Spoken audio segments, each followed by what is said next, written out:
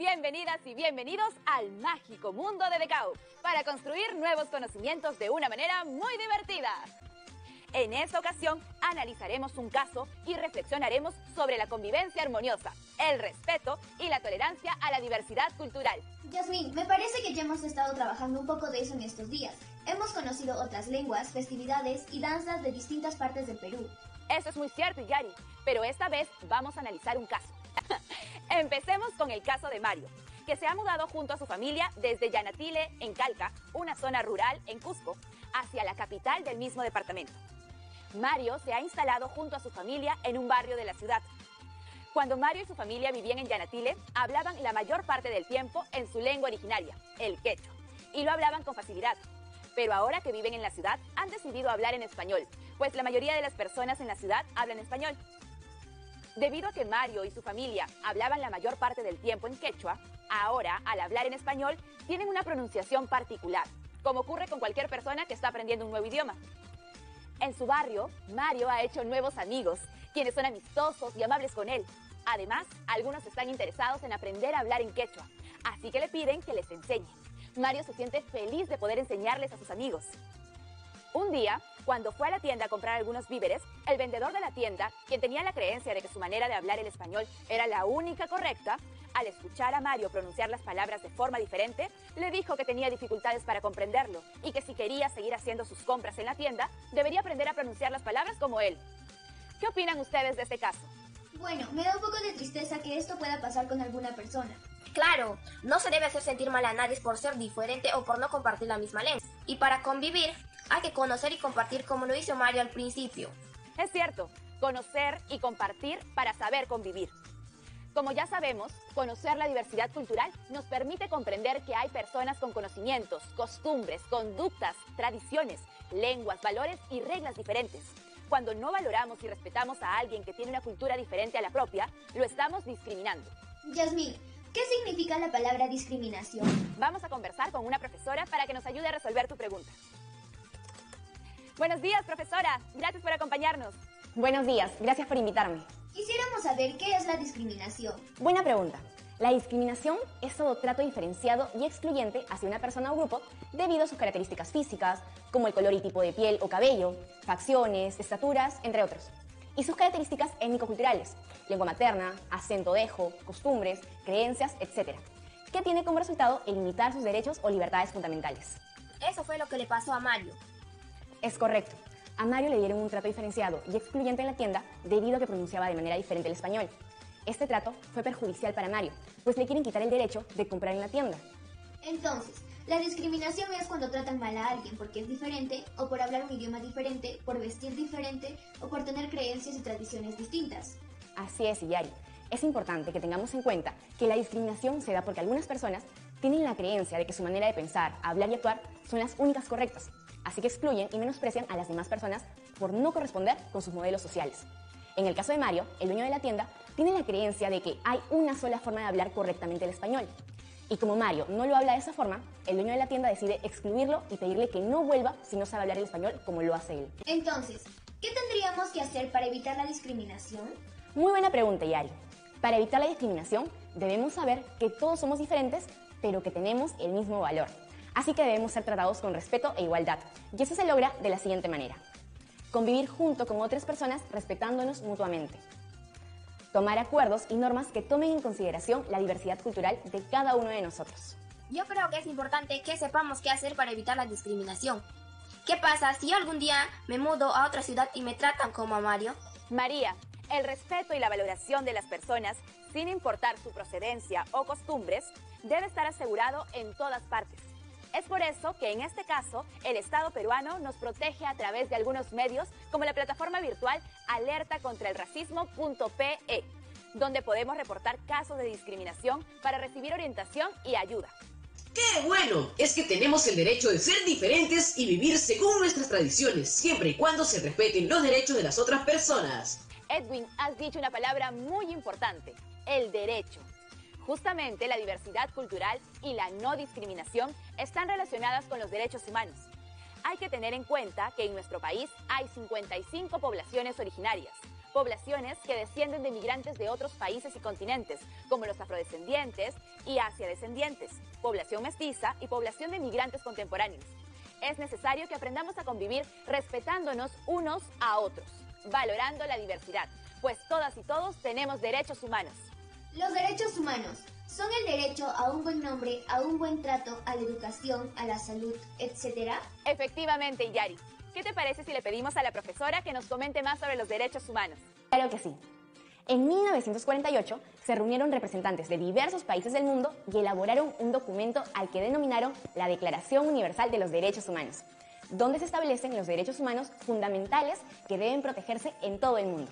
Los derechos humanos son normas que reconocen y protegen la dignidad de todas y todos los seres humanos.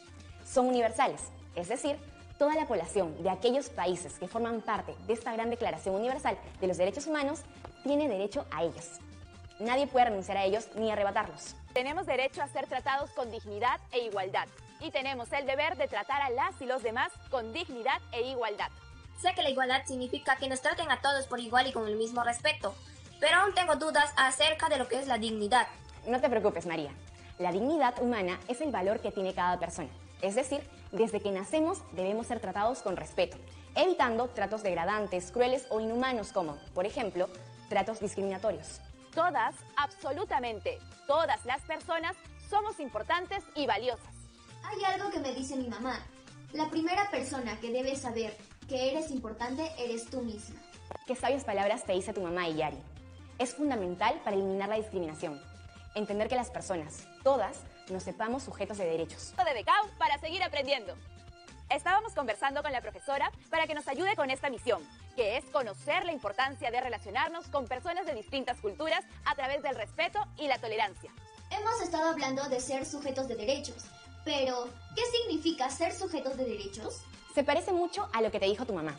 Un sujeto de derechos somos todos porque tenemos derechos y reconocemos los de los demás. Es cierto, mi mamá es sabia. Me ha ayudado a comprender que soy un sujeto de derechos. Yo soy sujeto de derechos. María, tú eres sujeto de derechos. Tan importante como saber que tenemos derechos es saber que las demás personas también lo tienen, como nuestros familiares, amigos, amigas, vecinos y las personas que no conocemos. Debemos tratar a las personas como nos gustaría ser tratados. Tenemos derecho a no ser discriminados y tener el deber de no discriminar a nadie por ningún motivo. Lo han comprendido muy bien, chicos. Si respetamos los derechos de las demás personas, evitaremos la discriminación y mejoraremos la convivencia armoniosa en nuestro país. Este ha sido un gran programa lleno de reflexiones. Queremos agradecerle, profesora. Su conocimiento nos ha permitido profundizar en el caso de Mario y llegar a conclusiones muy importantes para nuestra vida. Lo hago con gusto. Me gusta mucho compartir lo que sé para reflexionar y generar mejoras en nuestras vidas. Chao chicos, ha sido un gusto. ¿Cuáles creen ustedes que son las ideas principales de todo lo que hemos conversado ahora? A partir del caso de Mario, que sufrió discriminación por cómo hablaba el español, hemos tratado un problema que afecta a nuestro país, incluso a todo el mundo. La discriminación por motivos culturales, como creencias, costumbres, idioma, etc. Es importante hacer algo para solucionar este problema, pues impide que convivamos armoniosamente con las y los demás. También hemos repasado la idea de la diversidad cultural, porque nos permite comprender que hay otras culturas diferentes a la nuestra. Y ese es un primer paso para convivir y respetar. Con la profesora Alexandra conocimos qué debemos hacer para evitar la discriminación. Debemos saber que todos somos diferentes, pero que tenemos el mismo valor, así que debemos ser tratados con respeto e igualdad. Yo recuerdo dos cosas muy importantes, ser sujeto de los derechos y de la Declaración Universal de los Derechos Humanos. Hay muchos esfuerzos para evitar la discriminación, pero aún hay mucho por hacer y necesitamos que todos trabajemos juntos en el respeto e igualdad de las personas. Muy bien, chicos, es muy importante divertirnos aprendiendo. Me gustaría que me cuenten si conocen algún caso de discriminación. Sí, una vez en mi barrio, cuando podíamos salir a jugar al parque con otras niñas y otros niños, unos amigos me pidieron no hablarle a un niño, debido a que recién se mudó al barrio. Me pareció una mala actitud. No entiendo qué tiene que ver con que recién haya llegado al barrio. Solo era un niño nuevo. Terminamos conociéndonos y nos hicimos buenos amigos. A mí me pasó que para la actuación del colegio, mis compañeros y yo estábamos aprendiendo a bailar la danza de tijeras. Pero teníamos una compañera llamada Nicole que había venido de la costa. A ella le costó mucho hacer los pasos de la danza. Todos comenzaron a molestarla y a decirle que se regresara a la costa si no aprendía a bailar la danza de las tijeras. Yo creo que no puedes obligar a nadie de que haga las cosas como tú las haces. Todos debemos respetar la forma de ser de cada persona. Qué buenos ejemplos han compartido, chicos. Yo creo que ustedes ya conocían desde antes sobre el respeto por la diversidad. Me emocionó mucho escuchar el caso de la niña en el colegio de Iyari. No todas ni todos tenemos las mismas habilidades o nos gustan las mismas cosas. Por eso, es importante saber reconocer lo que pueden estar sintiendo las otras personas. Muy bien, María. Es una actitud muy empática la que estás proponiendo. Como ya hemos conversado, la empatía es la capacidad de percibir los sentimientos o las emociones de las otras personas. Este ejercicio de empatía nos permite también eliminar la discriminación, porque podemos comprender qué pasaría si una situación de discriminación nos sucede a nosotros mismos. Con todos estos ingredientes en nuestras mentes, es momento de despedirnos. Sigamos aprendiendo y transformando en práctica las cosas que aprendemos. Aplicarlas en nuestra vida cotidiana es súper importante para vivir en un país y en un mundo respetuoso, con dignidad humana para todas y todos. Chao Yari, Edwin y María. ¡Chao, Jazmín! Tuparan Chicama. Tautsu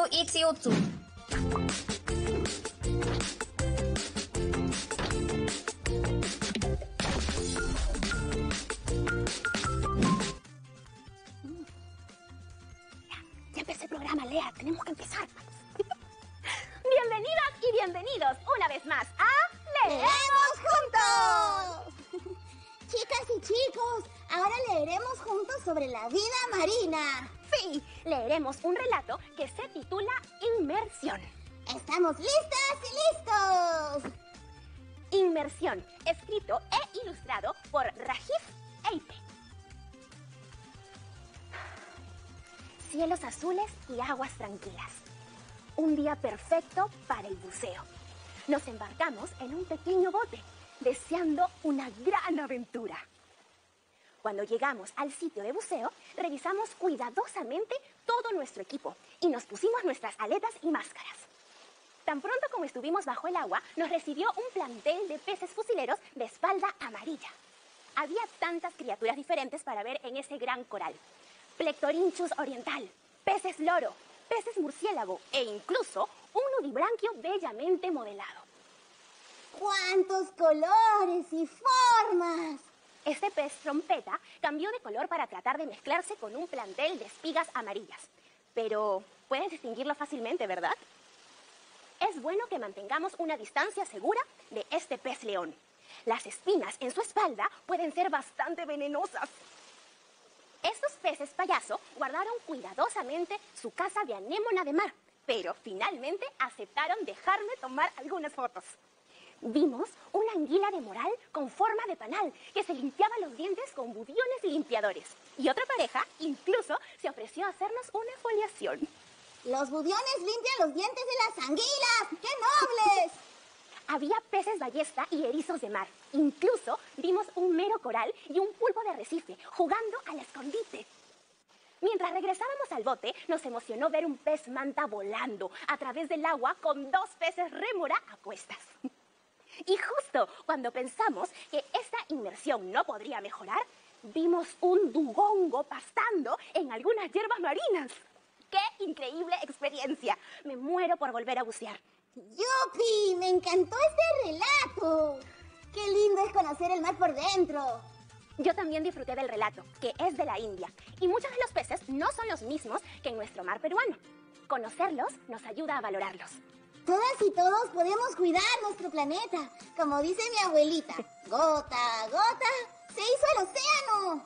Recuerden escribir en su diario de lectura sobre esta experiencia lectora. Nos vemos la próxima semana en Leemos juntos!